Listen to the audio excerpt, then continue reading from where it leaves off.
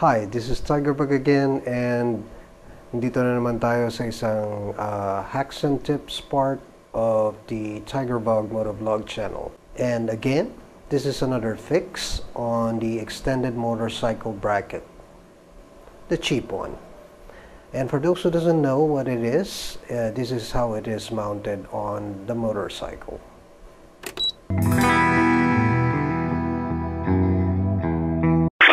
So this is what the bracket looks like as you saw on my um, inset on my video. And actually I bought these two old ones and I've been using this for quite a while. On my previous video uh, I blamed the cell phone holder for not having teeth. That's why medyo umiikot to. So that could be a reason, but another reason is another reason is this bracket is not welded onto this part. That's why umiikot siya. Okay?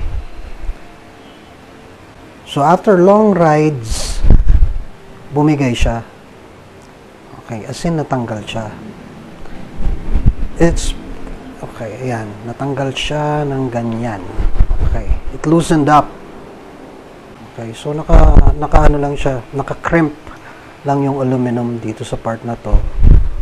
So yung mouth niya naka crimp lang dito. So that's why pala umiikot. I've been blaming this one for that. But it could be true also as well kasi talaga naman madulas siya. That's the reason why nilagyan ko siya ng electric tape saka ng, sticker saka electric tape para dumikit. Okay? Para hindi siya kumalaw. Anyway, kaya sa bumigay kasi masyado mabigat to. This is much heavier than this bracket. Yung, yung cellphone holder. Alright. Now, what I did was, ni-reinforce ko siya ng nut and bolt. Alright? Dito. So I've been using this the reinforced bracket for quite a while for for months for a month na and it held on until ito namang cellphone holder ko bumigay. Nagka-problema din ako dun sa screws. Okay? Na-loose thread na siya. Okay. But, yun, madali naman gawa ng paraan. Same thing as here. Lalagyan ko lang siya ng nut and bolt uh, like this, ganun lang. Lalagyan ko lang siya ng nut bolt doon. So, diretso na siya. So, magagamit ko pa siya. Now, this is what I'll show you kung paano ko ginawa to. Alright. Why did I choose this? This is only 88 pesos as compared to uh, Motorwolf uh, bracket which is a 300 or 300 plus. Ayun, kaya bumili pa ako ng isa pa. And I did not know na low quality siya. Pero wala naman tayong ano eh, wala namang ganon. I mean, anything can be remedied. So, yun nga, yun ang show ko sa inyo, paano re-remedyohan yung low quality material na nabili nyo na para uh, mas mahabang panahon nyo pa siyang magamit. So, what you need is, syempre, yung bracket, bumili pa ako ng gold, oh. Ganda siya, di ba? Kasi yung sa Moro Wolf, solid siya. Solid yung uh, aluminum niya. From here up till this part, solid siya. Ito, cylindrical. Okay, tube siya. And yun nga, naka-crimp lang. As you can see, eh, right there, naka-crimp lang siya. Winiden lang yung mouth. Yung part ng mouth niya. This is what we'll need course the bracket, a bolt, and a nut. So what's the measurement of this uh, bolt? It's, what I bought here is 6 by 60 millimeter bolt. Ang length niya is approximately two and a half. Okay? Dos media yung haba niya. Okay? Inches. If you want, you can uh, put in longer, a longer bolt.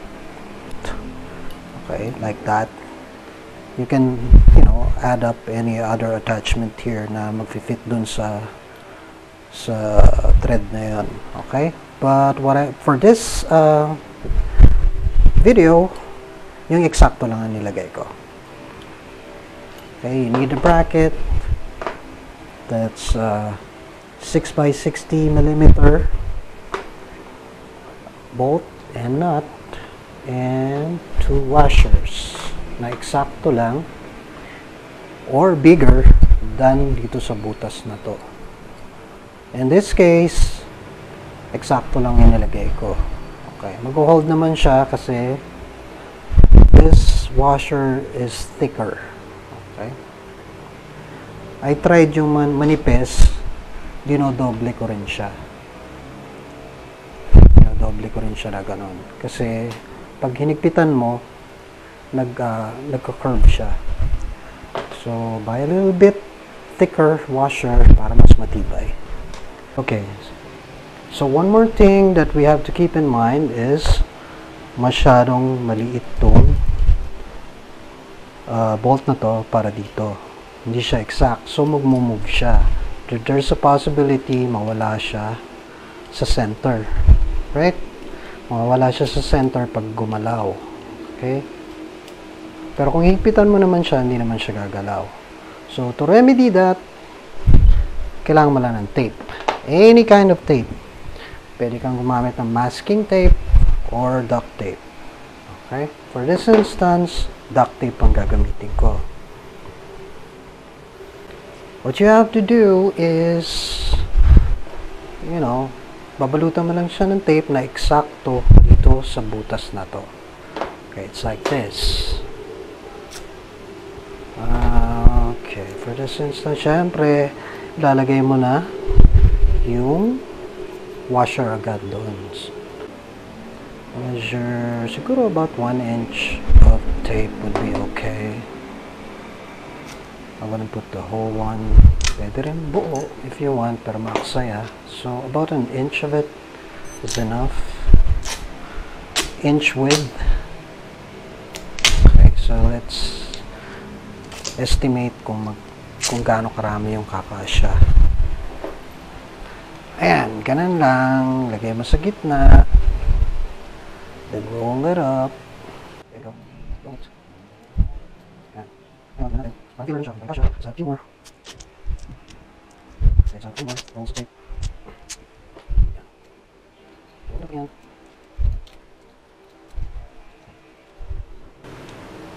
Okay, konti na lang. Let's add up a little bit more. Actually, kahit manipis lang eh, like uh, one, like uh, one fourth inch, it's okay. I'm just trying this thicker one this time. Kaya ganon. Nilagay ko dito sa luma. Ano lang, one fourth inch lang, konting-konti lang, just to stabilize it. Ay, that's enough. Oops, that's much. Pause natin. Oops. Still too much. Still too much. Pause natin. Until it fits snugly inside it. So, naka-center na siya ngayon. So, you won't have to worry na gagalaw siya. Right. So, ayun. Snug fit na siya. Hindi na masyadong magalaw. So, hindi na siya gumagalaw. Lalagay mo na tong the other washer on the other part. And the nut. Okay?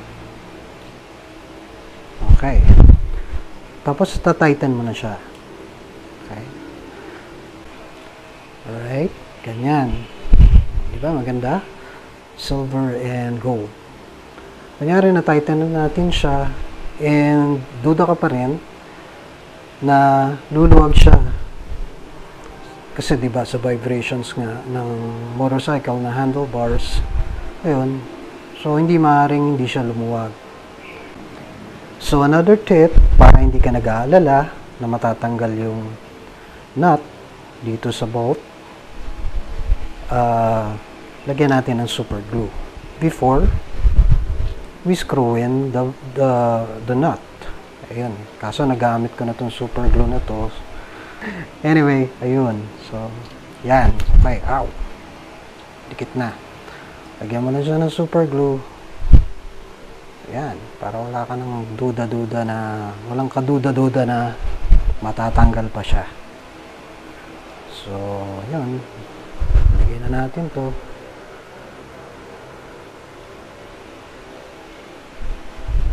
Alright. Higpitan na natin.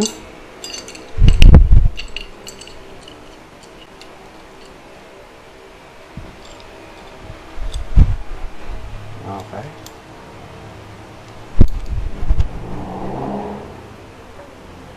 Alright. Okay. So, yan na. Nice, di ba? Silver and gold. O, isa pa. If you want, again, kung duda ka na mag, uh, ano, magsislip yung kung whatever you put in there, lagyan mo lang siya ng electric tape. That's it. Just put in electric tape, rubberize na siya. No problem about it. Nyari, camera mount ang ilalagay mo. Eh, surely, dudulas yun. Okay. Surely, dudulas siya. Kasi, smooth tong metal metal na to, tong aluminum. Alright? So, mas maganda kung meron siyang electric tape. Okay. Like what I did dito sa isa. Actually, this was red before. Ito, red. If you want, pwede mo rin pinturahan to ng black. Or, kung gusto mo na yung gold and silver, balutan mo lang siya ng, ng papel, then spray in clear lacquer dito. Okay? So, sigurado na hindi siya magkakalawang. Again, that's another tip from Tigerbug. Thanks for watching and see you next time.